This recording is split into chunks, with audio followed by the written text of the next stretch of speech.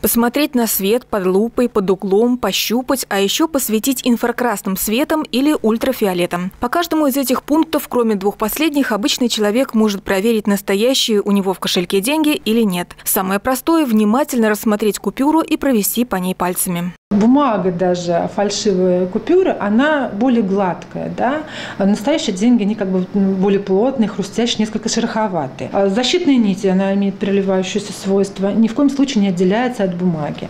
Да, в поддельных купюрах она очень часто ее прям даже можно без специальных средств или иголочкой, или даже иногда пальцем, она отделяется прекрасно, как будто прошита, как будто насквозь. Ее прям очень хорошо даже видно невооруженным глазом. Запомнить все степени защиты купюр сложно. Проверить подлинность своих денег самостоятельно можно с помощью информации, размещенной на сайте Центробанка. В разделе «Наличные денежные обращения» подробно описаны все степени защиты. Например, у 2000 купюры 12 защитных признаков, которые можно рассмотреть с лупой, и 5 на ощупь. Также у банкнот разного достоинства отличается изображение в инфракрасном и ультрафиолетовом свете. Но бывают случаи, когда вид легальной купюры в этих диапазонах искажается. Сталкивалась, кстати, в практике, что когда э, нормальные, не поддельные купюры не имеют такого образа за это происходит ну, искажение. Например, постирали в машинке с бельем.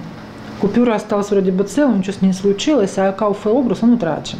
И мы проверяли, их уже как бракованные просто списывали. Проверить купюры можно и с помощью мобильного приложения «Банкноты Банка России». В программе есть информация обо всех рублевых купюрах и об их защитных признаках. Она поможет разобраться, где именно находятся водяные знаки, увеличенный рельеф, кип-эффекты и как они выглядят. В прошлом году в Сарове обнаружили 19 фальшивых купюр разного достоинства. В России только за 9 месяцев 2020 года полицейские полицейские изъяли 33 784 поддельные банкноты. Чаще всего подделывают деньги номиналом в тысячу и пять тысяч рублей. Очень внимательно надо быть э, просто элементарно к записи, потому что существуют не только подделки как таковые, но и мошеннический способ э, расплаты деньгами, на которых просто может быть, может быть запись «сувенир», или не является платежным денежным средством.